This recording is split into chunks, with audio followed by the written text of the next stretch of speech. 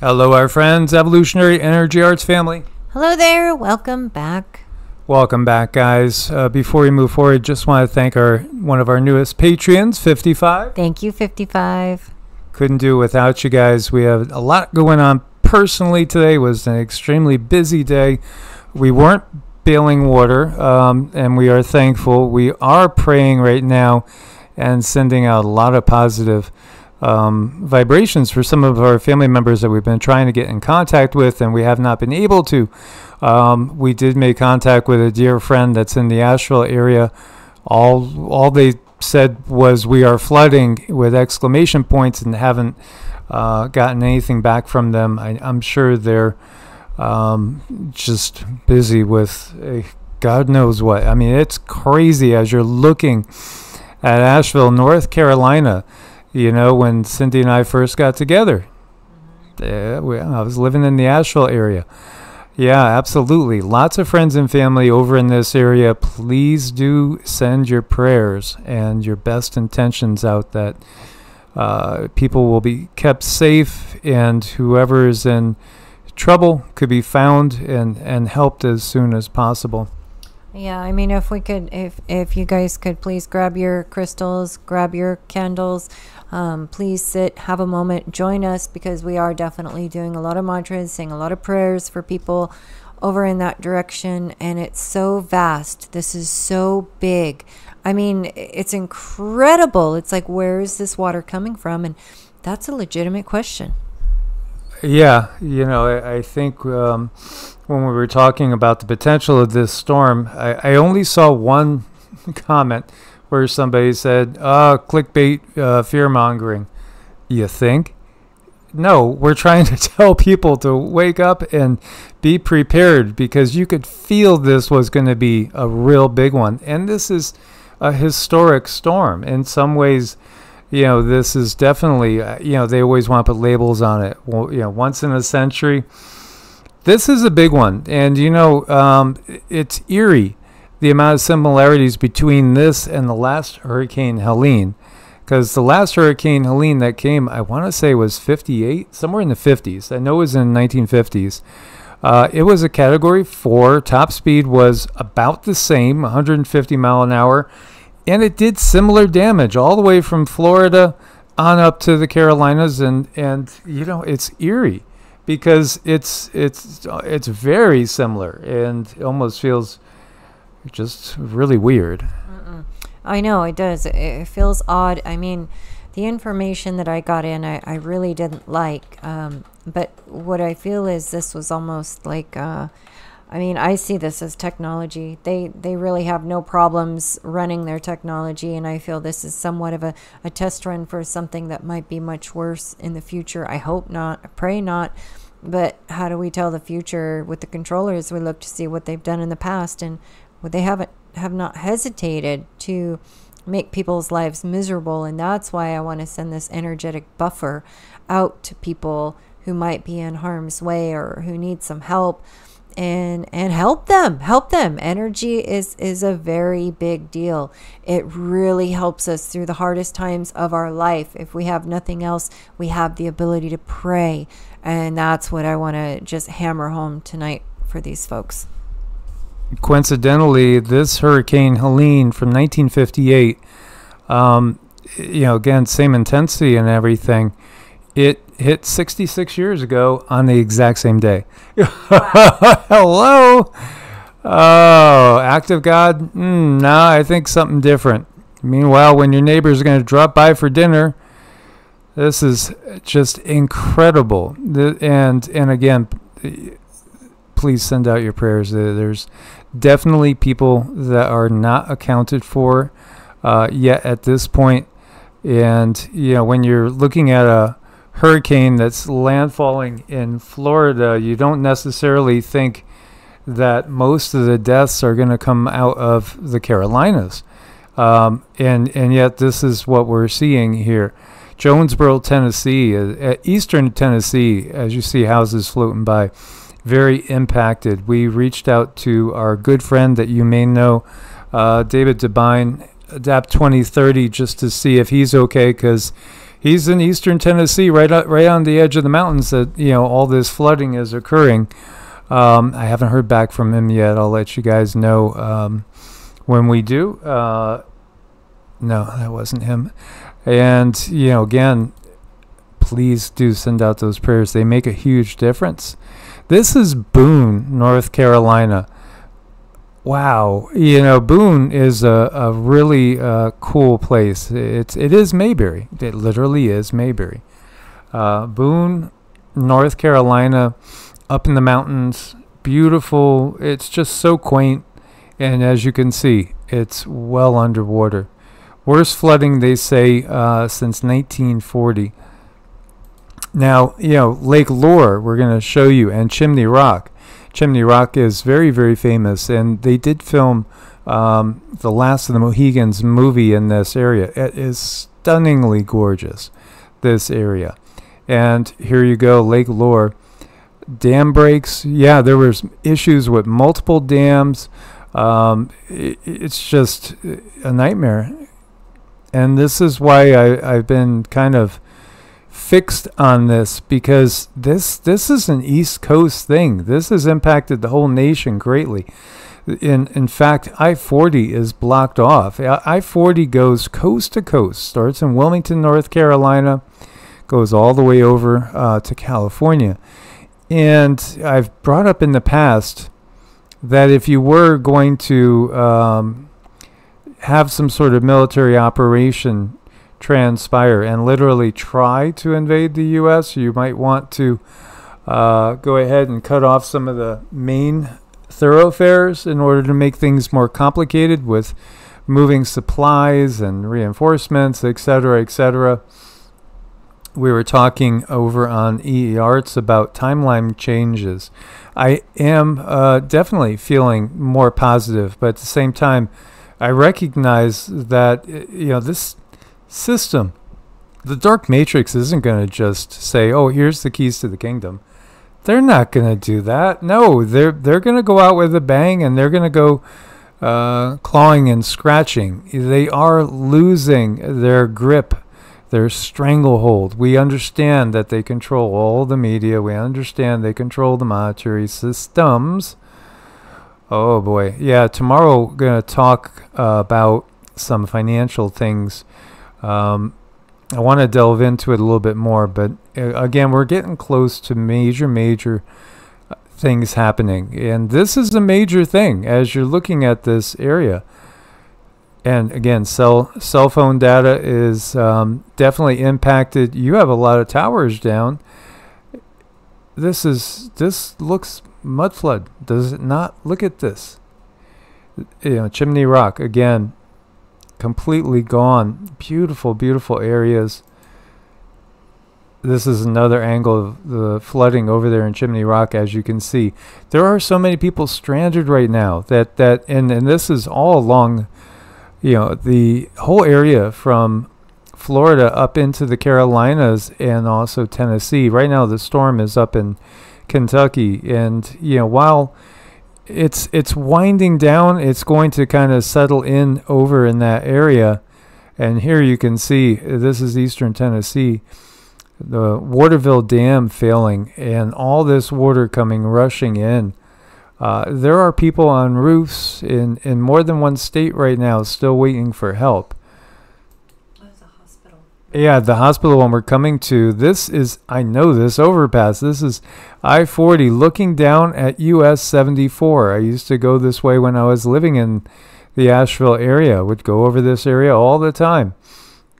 And the Blue Ridge Parkway. What a beautiful ride the Blue Ridge Parkway is. If you have not taken that ride at some point in time when the roads are open, I would heartily suggest it. It is gorgeous.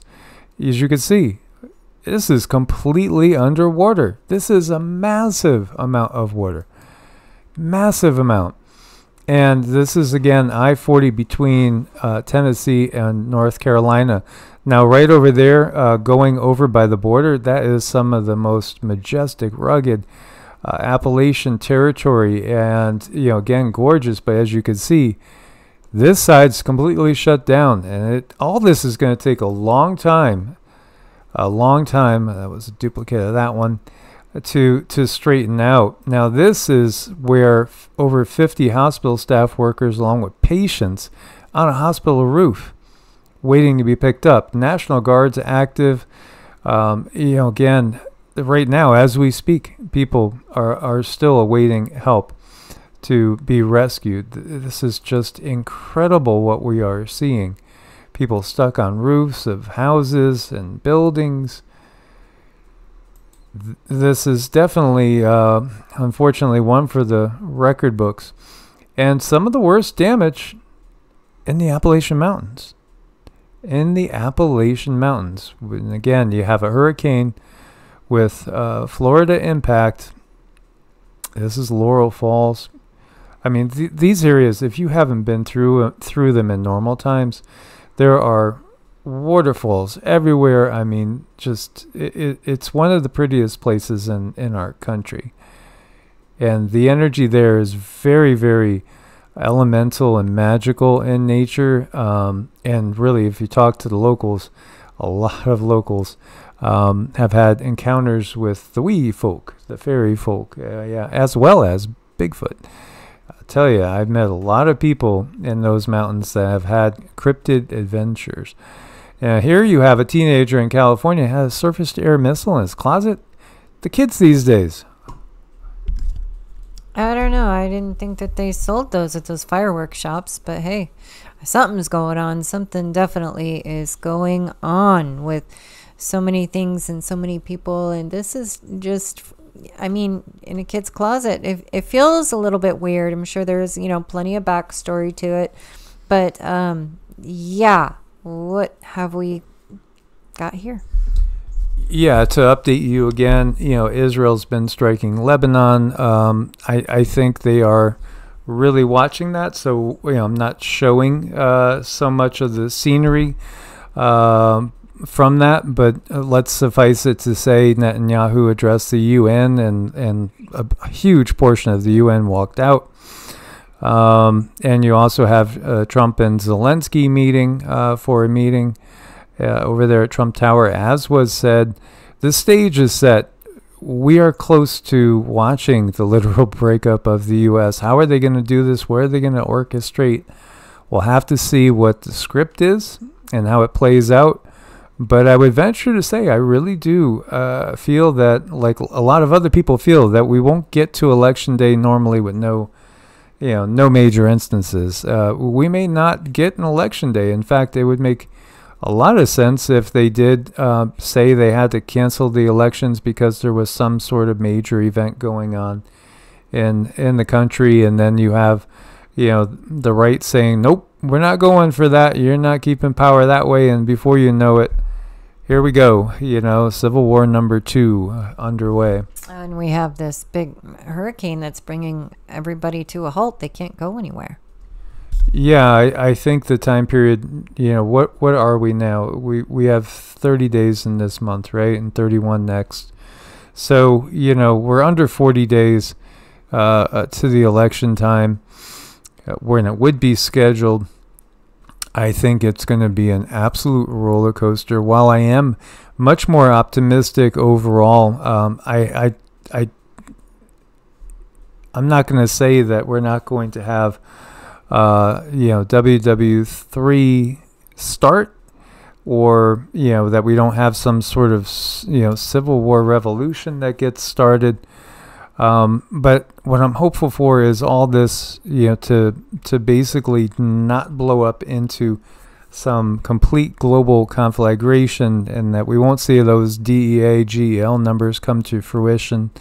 Uh, you know, the guides did not think they were going to get those type of outcomes from those numbers. Now, you know, again, they do do a lot of things for Loosh, but at the same time, they do start wars all the time. You know, this is just what they do and and we see these quote unquote natural disasters that many people are. I mean, I'm when you when you look at Twitter and what's what's what's what's going crazy. What are people searching? They're searching HAARP.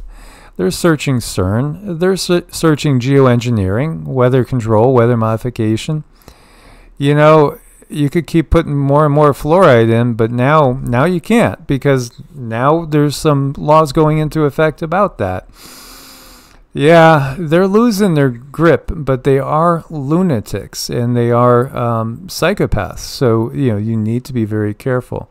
As we see Cedar Island, you know this is pretty close to ground zero. It's pretty much ground zero. House is gone. Locals estimate over 100 homes just totally gone. Not really anything standing there anymore. Horseshoe Beach, Florida. Again, this is more towards your your your landfall, and almost every single house either obliterated or it does have damage. Uh, again, Cat 4 making landfall. And it, it was weird too because it really did feel like they knew um, that this was going to be impactful for the whole southeastern United States. Uh, Keaton Beach, Steinhatchee, Perry, as it says, destroyed in Hurricane Helene. 30 deaths so far, four different states, 10 South Carolina, 11 in Georgia, 7 in Florida, and 2 in North Carolina. So, you know, this is this is a nasty one. And again, for anybody to think uh, you're just uh, trying to do this and, and making a sensationalist title, no, this is real, and and you know a lot of people sleepwalk through their lives. Unfortunately, too many people sleepwalk through their lives until they get, you know, plastered in their face with something that hits them, and and they were unaware. Somebody would just tap them on the shoulder. Do you guys realize what's going on? And I know you do. I'm talking about you guys tapping other people on the shoulder, and I know a lot of you guys are exhausted from tapping for so many years and you know you can only tap so much. You can only talk to family so much and and so many of them are, are gonna simply shut down. And at that point you've done your job. All you can do is pray and just have a little bit extra for whoever. Uh, unfortunately also uh, what we have going on here are a lot of people who were just in kind of the matrix and they were just living their lives innocently and they should be able to simply live their lives. Unfortunately this control grid they this is to be expected. This is something that they want to do. They want to bring people to their knees. And then you know i'm sure if we poked around here would probably find some cities that are slated to be you know those little uh, jail cells that they're making all across the country. So um, it's a mess. It's a mess. And what can we do? And um, we can definitely send our prayers and our energy and put our um, our ener- ener- energetic uh, love behind this so that people find solutions. I just I can't help but think of like all the pets, all the animals that are suffering, that probably drowned, that may have gotten left behind. And, you know, and all the people that had to leave their homes and their livelihoods and they just had to walk away. They had no choice. Um, they, well, they did, you know, it's like walk away or die. It looks like that was their choice.